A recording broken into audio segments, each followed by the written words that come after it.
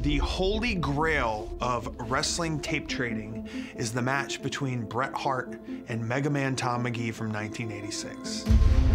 If WWE doesn't have it, I'm never gonna see this match. You know, you hear like an urban legend or a myth, like, oh, this thing happened or this exists, and it's like, yeah, right.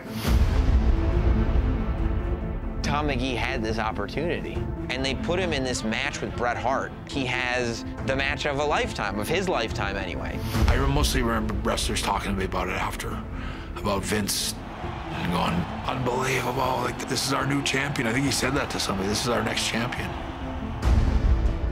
I have no clue where Tom Magee is. I know he's not in, in wrestling.